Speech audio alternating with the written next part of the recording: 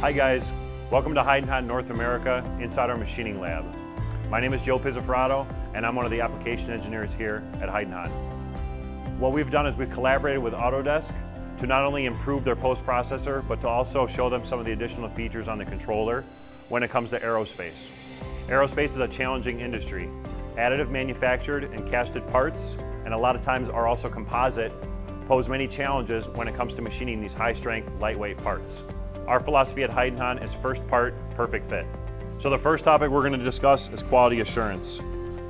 We have a new cycle 444 called Measure in 3D and Compensate, which is used to measure a freeform surface of a casted or additive part. Once we measure this part, the control determines whether that point lies in an undersized or oversized range when compared to a nominal dimension, and then compensation can take place. We also offer a monitoring package called State Monitor. State Monitor is all about process control. With the State Monitor, we monitor machines in real time and help detect errors faster for a more prompt and efficient reaction. State Monitor can be used to check that your parameters are in line for your predefined process.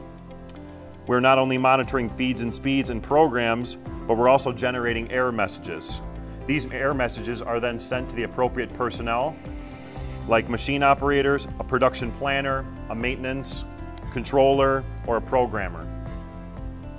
One of the things I want to highlight inside of the flexible and digital manufacturing topic is our batch process manager. The batch process manager is used to help optimize your manufacturing processes to create a more flexible manufacturing environment. This is due normally to either a deadline or bottlenecking of parts that are occurring. You can change priorities of the pallet editor with a push of a button and then the pallet editor checks to make sure that you have a datum, a tool, and a program set. And if you don't, an X is displayed and a countdown begins and the amount of time you have to change that job over. This gives the operator a window to get things correct before they try running the job. We also have another feature called tool-oriented machining. And what this does is groups operations together for individual tools to limit the tool change time and also reduce overall cycle time of the pallet. We also offer different cutting strategies as well. Trochoidal milling for roughing and vector programming when it comes to specific guidance of a complicated tool like either a barrel tool or a lens cutter. The 640 is not only a milling control, but it's also a turning control as well.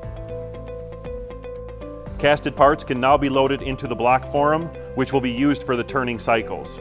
This helps cut down error time because the control is smart enough to rapid when the tool is not engaged in the part.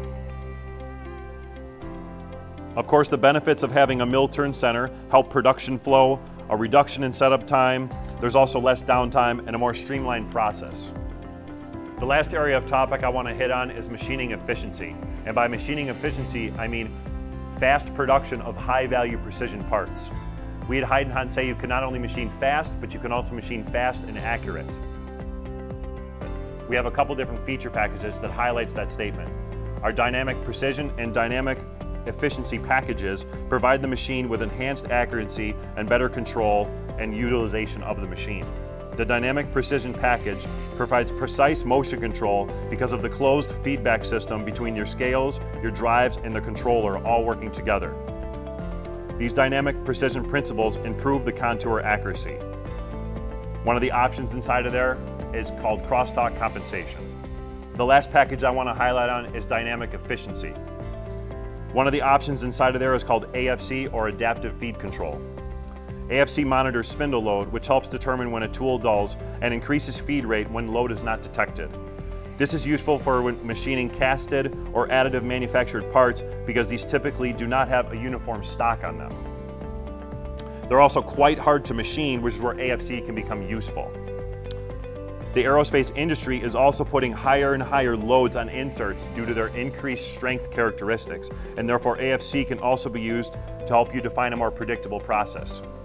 We at Heidenhain feel these key features can help you in mitigation or risk management. For all of us here at Heidenhain and Autodesk, thank you for your attention today, and remember, first time, first fit if you want a Heidenhain control.